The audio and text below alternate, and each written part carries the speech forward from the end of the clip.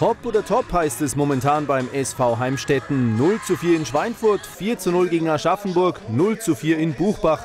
Nach dem Gesetz der Serie wäre heute wieder der im gewohnten Rot gekleidete SVH dran mit einem klaren Heimsieg gegen den TSV Rhein am Lech. Die Gäste müssen momentan der hohen Belastung der letzten Wochen ordentlich Tribut zollen.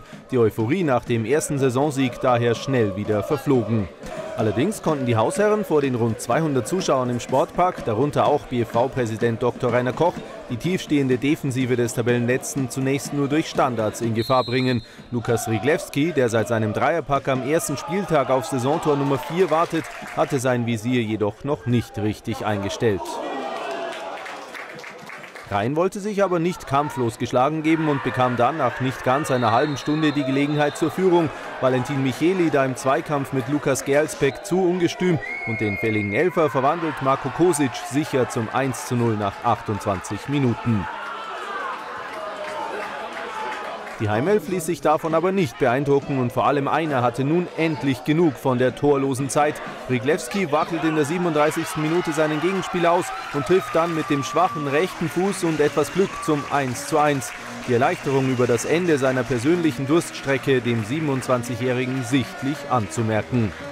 Überhaupt der SVH mit dem Ausgleich wie aufgedreht. Bei den Gästen ging dagegen irgendwie der Glaube an ein mögliches Erfolgserlebnis verloren. Nach Wiederanpfiff zeichnete sich dann der im Vorfeld von SV-Coach Christoph Schmidt geforderte Pflichtdreier immer mehr ab. TSV-Schlussmann Kevin Schmidt wehrte sich zwar im Verbund mit dem Pfosten mit aller Kraft gegen die heimische Sturmwelle, doch in der 58. Minute war er dann machtlos. Riglewski inszeniert den nächsten Angriff, Ensas Krieli steckt durch für Moritz Hannemann und der mogelt die Kugel irgendwie über die Linie zum 2 zu 1.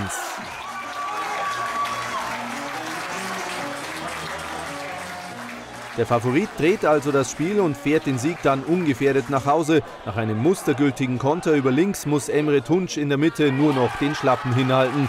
Mit dem 3 zu 1 in der 81. Minute war die Rainer Gegenwehr endgültig gebrochen. Mit den ersten 40 Minuten war ich äh, sehr zufrieden. Wir haben äh, das, was wir uns vorgenommen haben, haben wir auch gut umgesetzt, indem wir äh, taktisch gut gestanden sind. Ich denke, Knackpunkt war unter anderem das 1-1 vor der Pause. Ja, und nach der Pause haben wir leider zu viele individuelle Fehler gemacht, aber die Mannschaft hat bis zum Schluss alles gegeben und es war einfach leider nicht mehr drinnen. Ja, ich denke, dass wir von der, von der ersten Minute an ein sehr ordentliches Spiel absolviert haben, dass wir uns in der ersten Halbzeit noch ein Stück weit schwer getan haben, uns Torschancen rauszuspielen, äh, sind dann ja, denke ich, schon auch unverdient ähm, in Rückstand geraten durch einen ja, Foul-Elfmeter. Ähm, haben aber dann prompt auch reagiert und das 1-1 erzielt. Und mit, mit Beginn der zweiten Halbzeit ähm, ja, sind wir dann letztendlich auch zu Torschancen gekommen und haben die dann letztendlich auch verwandelt und gingen, denke ich, auch als verdienter Sieger vom Platz. Während Rhein nun erstmal froh ist über eine kleine Verschnaufpause, in der Liga geht es erst am 11. September in Eichstätt weiter, ist Heimstetten mit diesem Sieg in der Tabelle erstmal aus dem Gröbsten raus. Vorausgesetzt, dass sich Sieg und Niederlage nicht schon am Samstag gegen das nächste Kellerkind Kräuter für 2 wieder abwechseln.